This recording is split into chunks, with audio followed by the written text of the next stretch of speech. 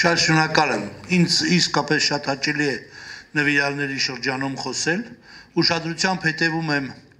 ձեր շարժման աշխատանքին հիմնադրի ժողովի ժամանակ ով կհիշի ես խնդրել եմ ինձ չներգրավել շարժման խորհրդի մեջ, որովհետև այս 22 թվականին դրանում է 10 տարին, ինչ ես դուրս եմ եկել քաղաքական դաշտից, չեմ մասնակցում քաղաքական կյանքին, զբաղված եմ հասարակական եւ գիտամանկավարժական գործունեությամբ եւ որպես գիտնական եւ որպես փորձագետ ջանք ու երրանտ այս տարվա ընթացքում չեմ խնայել ձեր շարժմանը, մեր շարժմանը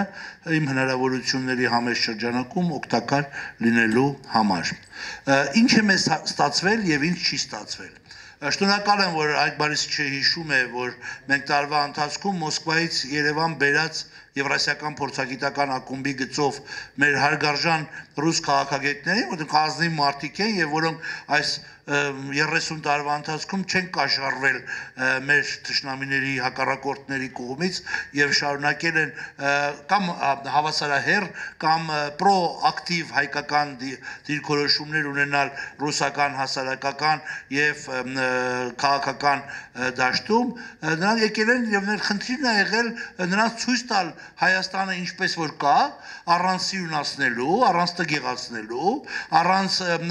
էպիցետներ կպսելու մեր կողմից, թույլ տալով, որ նա Հայաստանում առավելագույն թվով կիրթ ու գրագետ մարդկանց հետ շփվելու արդյունքում ունենան որոշակի եզրակացություն, թե ինչպիսին է իրերի վիճակը։ Եվ Ալեքսանդր Կրիլովը դոկտոր, եւ Վլադիմիր Լիպեխինը, եւ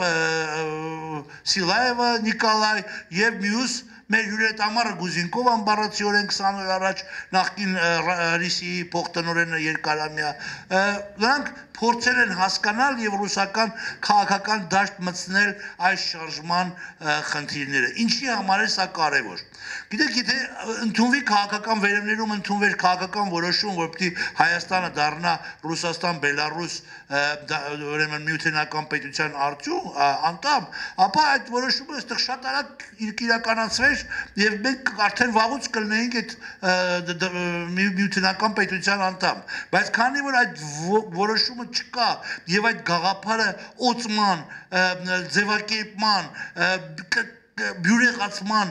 փուլում է, հիմա շատ կարևոր է որ մենք ճիշտ հասցնենք մեր գործընկերներին, գլխավորապես Մոսկվայում, բայց նաև Մինսկում եւ մյուս տեղերում, որ թե ինչ ենք ուզում մենք եւ ինչու ենք մենք անհանգստացած եւ ինչու ենք մենք շահագրգռված, որ Հայաստանը ոչ թե ասենք ինչ որ ստորացուցիչ կամ մեջքը ծռած դիրքորոշումներ ունենա իր ապագան որոշելու հարցում, այլ շատ արժանապատվորեն իր ինքնիշխանությունը, անկախությունը եւ պետականությունը պահած ավելի մոտենա Ռուսաստանին, քան հիմա է, ավելի մոտենա Ռուսաստան, Բելարուս դաշինքին, քան հիմա է, լինի այդ միության լիարժեք անդամ եւ դրանով լինի ավելի պաշտպանված եւ ավելի ուժեղ։ Ինչպես որ ասում է մեր ձեր շարժման վերնագիրը։ Հիմա Մեկ տարվա ընթացքում մենք ունենք մի վիճակ, երբ հայկական հասարակության մեջ լրջորեն քննարկվում է խնդիրը իսկ ինչ է պետք անել ստեղծված ծանր վիճակից դուրս գալու համար։ Ես ուզում եմ ձեզ ասել, որ այս գաղափարախոսության դժվարություններից մեկն էլ այնն է, որը որ Հայաստանի իշխող վերնախավում սրա կրողներ քաղաքական դաշտում համարյա չկան։ Ես նկատի ունեմ խորհրդարանի հիմ քաղաքական ուժերը։ Քաղաքական ուժերից եւ ոչ մեկը չի հրճակել, որ ինքը տանելու է Հայաստանը դեպի միութենական պետություն։ Իսկ մեզ պետքա որ տենց լինի։ Ինչ ինչ անենք, որ այդպես լինի։ Որ մենք զբաղվենք լոբիստական, քաղաքական, բացատրական, դաստիարակչական, մանկավարժական աշխատանքով։ Մենք ի վիճակի ունենա, լինենք եւ ռեսուրսներ ունենանք Հայաստանի բնակչության մեծ մասին տրամադրելու մեր կողմը, իսկ դրանից հետո լոբինգ անենք հիմնական քաղաքական ուժերի արչեւ, նրանց պարտադրելով հարցը հանել հանրակրվեի, երբ որ դրա կարիքը կլինի։ Երբ կլինի դրա կարիքը, դա մեզնից է կախված, բայց ոչ միայն մեզնից։ Մեզնից է կախված այնքանով, որ մենք եթե լռեցինք, ուրիշ ասող չկա։ Այ ես այստեղ ուրախությամբ արձանագրում եմ, որ դուրս շարժման շրջանակներից մենք ամեն օր շփվում ենք Եվրասիական փորձագիտական ակումբի հարգաժան անդամներ են Հայկ Բաբուխայանը, Սամվել Մանուկյանը, Գայել Քարությունյանը, պարոն Ամարյանը, եթե ներողություն, եթե ելի անուններ չտա, բայց մենք անընդհատ այս ֆորմատով կամ մի ուրիշ ֆորմատով կամ երրորդ ֆորմատով, չորրորդ ֆորմատով իր մեջ շփվում ենք։ Սա նրանից է, որ Հայաստանում ուրիշ մարդ չկա։ Սա նրանից է, որ մեզ իրականում Հայաստանի ինքնուրույն մտածող համարցակ դատողություններ անելու ի վիճակի մարդկանց թիվը շատ մեծ չի։ Եվ մենք դա պիտի իմանանք։ Եվ մենք պիտի իմանանք, որ այսօր խնդրեմ կա Հայաստանի վերնախավերի խզում կա եւ բնակչության հիմնական մասի միջև։ Վերնախավերի քաղաքական մտածողությունները միշտ եւ մեծամասնությամբ չի, որ կիսվում են ժողովրդի բնակչության լայ խավերի կողմից։ Շատ դժվար է այսօր ասել եւ ես շատ ուրախ եմ, որ այստեղ մեր ազնիվ սոցիոլոգ Սամվել Մանուկյանն է նստած, որը մի փոքր կծան հետ համատեղ արած իր սոցիոլոգիական հետազոտության տվյալներով, բայց ասեմ, երբ որ մենք Եվրասիական փորձագիտական ակումբում հրապարակեցինք Սամվել Մանուկյանի տվյալները, ամեն օր ինձ մի քանի մարդ դրանից հետո 10 օրա զանգում են։ Հարցնում են, այդ ինչ հետազոտություններ ոնց է արվել եւ ինչ են դրա արդյունքներից։ Մենք դա հրապարակել ենք Telegram-ում, Instagram-ում, մենք դա հրապարակել ենք մեր բոլոր ռեսուրսներում եւ գրավել ենք ուշադրություն։ Խնդրում եմ ուշադրությամբ լսեք այս հետաքրքիր անավարտ եւ ոչ մեծ ռեսուրս ռեսուրսի գործադրմամբ արված սոցիոլոգիական հետազոտության նյութերը։ Ամեն մեկը ձեր մեջ կորոշեք, ստեղ ինչն է ճիշտ եւ ինչն է անկատար։ Իրականությունը նաև որ մենք հայ-ռուսական բարեկամության, համագործակցության եւ փոխադարձ օգնության մասին համաձայն պայմանագրի, բազային պայմանագրի 25-ամյակի տարում, իսկ 22 թվականի ապրիլին լրանում է 25 տարին։ Մեր պայմանագրի, որը 97 թվականին կնքվել է։ Պետք է մտածենք, իսկ ապամատսխանում է արդյոք այդ պայմանագիրը ամբողջովին այսօրվա հետ պատերազմյան իրողություններին։ Այդ պատերազմը, որը 97 թվականին կնքվել եւ 2000-ական թվականներին երկարացվել է, այսօր Արցախյան 44 օրյա պատերազմում կրած զառը դառը պարտությունից հետո արտահայտումը Հայաստանի եւ Ռուսաստանի հարաբերություններում մեր սպասելիքների եւ ակնկալիքի ամբողջ ծավալը։ Սա մի քայլ է, որի մասին պետք է մտածել։ Իմ ջոսալա պայմանագիրը։ Ես այդ ժամանակ արտաքին գործերի նախարարությունում եմ աշխատել, պարոն Մարտիրոսյան մեր գլխավոր քարտուղարն եղել, թույլ չի տա, որ ես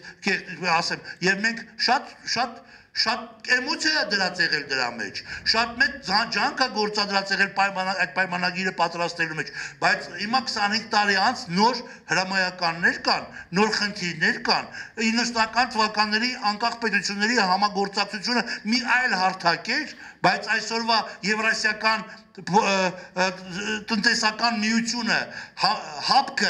այսօրվա իրողությունները այլ իրողություններ են եւ այսօր գծագրված են համագործակցությունը խորացնելու փոխգործակցությունը խորացնելու իրար հետ համակերպվելու, համակցվելու եւ համագործակցելու նոր տեսլականներ ու նոր հնարավորություններ։ Ես կարծում եմ, որ հիմա մոտակա 3 ամիսներին շատ ակտուալ ուղություններից մեկն է, որ գեներացվեն հայկական կողմից գաղափարներ եւ ռուս գործընկերներին առաջարկվեն այն բանից հետո, երբ Հայաստանը Եվրոպական միության հետ ստորագրեց 160 հոդված ունեցող համաձայնագիրը եւ ստանձնեց որոշակի պարտականություն, պարտավորություններ արևելյան գործընկերության շրջանում շրջանում, արժեր որ մեր 25 հոդվածանոց հայրուսական համաձայնագիրը եւս մի քիչ մեծանա, էլի։ Նոր էջեր բացվեն նրա մեջ եւ նոր ուղություններ գրվեն։ Ես կարծում եմ, որ շատ կարևոր է, որ մենք կարողանանք աշխատել Հայաստանի հիմնական քաղաքական ուժերի հետ։ Այստեղ քաղաքական փորձառու գործիչներ են նստած։ Պարոն Ուրիխանյանը քանի գումարման խորհրդարանի падգամավորը, այդ Բաբուխանյանը քանի գումարման խորհրդարանի падգամավորը, բայց մենք այսօր քաղաքական դաշտում որ ասեմ ուժեղ ուժեղ համախոհներ ունենք, ես ճիշտ ասած չեմ լինի։ Մենք չկան այսօր այդ մարդիկ, անկախ նրանից նրանք տանը ինչ են մտածում, գուցե մեր նման են մտածում, կամ երբ որ անալիզ են անում իրավիճակը, անկախ իրանցից դառնում են հայացքները ինչպես մեր մոտ 1920 թվականի իրողություններին, ու տեսնում են զուգահեռներ ու նմանություններ, ու ուզում են զգուշացած լինել մեր ժողովրդին նոր փորձանքներից հեռու մնալ, բայց քաղաքական դաշտում դի աշխատել այդ ուժերի հետ Մենք մեր մեջ ուժ գտնենք այդ մարդկանց, քանի որ նրանք են այսօրվա ընտրված քաղաքական վերնախավերը, պետք է գնանք նրանց մոտ եւ ասենք փառք կարգ կա, բա ինչ որ չգիտեք, բերեք բացատրենք։ Փառք Աստծո մեր ինտելեկտուալ, գիտական, հասարակական փորձառությունը լիուլի բավարար է նման բարձր մակարդակի շփում ունենալու եւ բացատրական աշխատանք կատարելու համար։ Ես վստահ եմ դրանում։ Ես կարծում եմ, որ 2022 թվականը վճռական է լինելու, որովհետև ինտեգրացիոն գործընթացները խորանում են եւ որովհետև դա Ռուսաստանում տեղի ունեցող նոր քաղաքական ակտիվ քաղաքական գործընթացների նախասկիզբն է։ Երբ մենք կարողանանք ճիշտ տեղավորվել այդ օրակարգերի մեջ, մենք մեր քաղաքական դիրքորոշումները պետք է կարողանանք համաձայնեցնել Մոսկվայում մեր բարեկամների հետ, լսելի ու հասկանալի դառնալ ռուսական քաղաքական վերնախավերի համար եւ միաժամանակ չկորց վստահ եմ ասում, չկորցնելով մեր արժանապատվությունը, մեր երկրի ինքնիշխանության մեր տեսլականը, մեր անվտանգության պահպանման հրամայականը կարողանանք բազմապատկել մեր ջանքերը միացյալ գործունեություն ծավալելու ուղղությամբ նպատակ ունենալով Հայաստանի եւ Ռուսաստանի միջև հարաբերությունները բարձրացնել նոր մակարդակի այն չափով, ինչ չափով, որ դա ընդունելի կլինի մեր ռուս բարեկամների համար։ Սա պրակտիկ քաղաքական խնդիր է եւ սա գիտական վերլուծության արդյունքա, որը մենք արել ենք վերջին մի քանի ամսում, եւ սա կա մեծապես կախված արենելու նրանով, թե Հայաստանի լրատվական դաշտը ինչ կգտնի իր մեջ ձեզ, մեզ ձայն տալու եւ թույլ տալու, որ մենք ժողովրդի հետ խոսենք ԶԼՄ-ների լեզվով։ Սա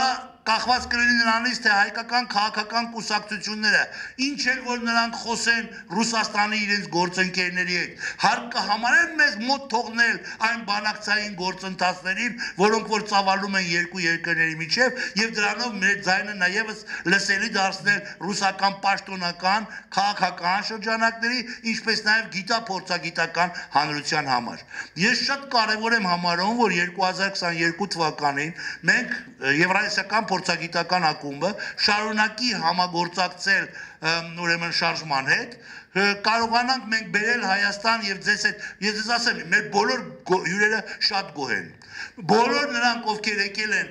եւ զրուցել են ձեզ հետ հանդիպել են ձեզ հետ ուրեմն Սիմի գրասենյակում խմբագրությունում ուրեմն պարոն Մկրտչյանի մոտ եւ մյուս տեղերում բոլոր ուրեմն մեր հյուրերը շատ հասկանալի շատ པարզ տեսլականով գնացել են Երևանից ասել են մենք հիմա հասկանում ենք դուք ինչ եք ասում գնանք եւ փոխանցենք Մոսկվայում մեր շրջանակներին որ այսպես է բան կա այս գործընթացը պետք է շարունակվի։ Պետք է գործընթացը շարունակվի այնքան, մինչև դա կբերի նոր որակական որակական բարձր ավելի մի մակարդակի, որտեղ հասկանալի կդառնան անկեղծ Հայաստանի Հանրապետության ժողովրդի ձգտումները, եւ այդ ձգտումները կդառնան գործիք որպիսի իշխանությունները, որպիսի քաղաքական ընդդիմությունը, որպիսի հիմնական երկրի քաղաքական ուժերը վերջապես օրակարգ մտցնեն այս կարևոր հարցը։ Շատ շնորհակալ